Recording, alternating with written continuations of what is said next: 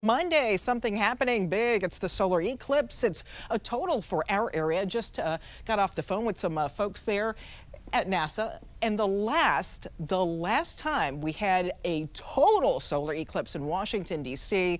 was the year 1478. So it's been a long time. This one a partial for us, but for nearly a century, you know, solar eclipses, they've helped scientists and researchers really decipher a lot of what's happening on the sun's surface, taking measurements that we wouldn't be able to take otherwise. But there's so much more that we can see as the moon blocks out the sun.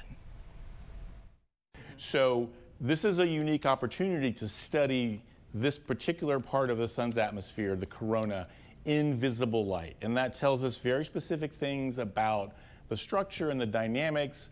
And we want to understand that because that part of the sun is where solar activity comes from. And so it's very important that we truly understand this part.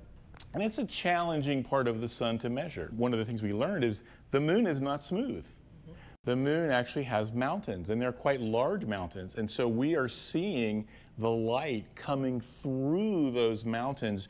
So part of the sun is blocked, but little bits of it are coming through the mountains. And that's the Baily's beads. And so this was one of the first indications that the moon is not smooth, the moon has structure. And now we actually have satellites such as the Lunar Reconnaissance Orbiter, or LRO, which has given us that incredible detail and we use that to then improve our eclipse maps. In our partial too, I mean, this is so cool. Hopefully you're getting goosebumps too of what's coming our way for Monday.